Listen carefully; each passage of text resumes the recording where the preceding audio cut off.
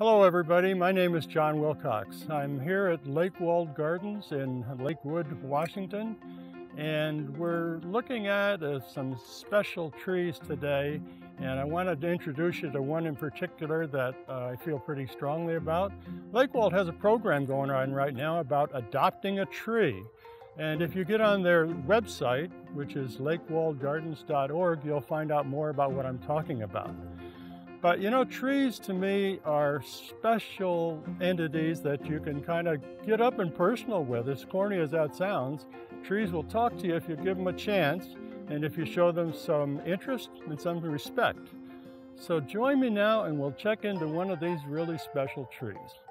Behind me is another tier one tree called the Empress tree. Paulownia is the scientific name. And it is from China. It stands all alone here at Lakewold out on the flagpole lawn. And it is special in many ways. First of all, notice the size of the leaves on the Empress tree, huge. And in years ago, before styrofoam peanuts were ever invented, they used to use the seed heads for packing materials. So these, these used to be flowers they're now seeds.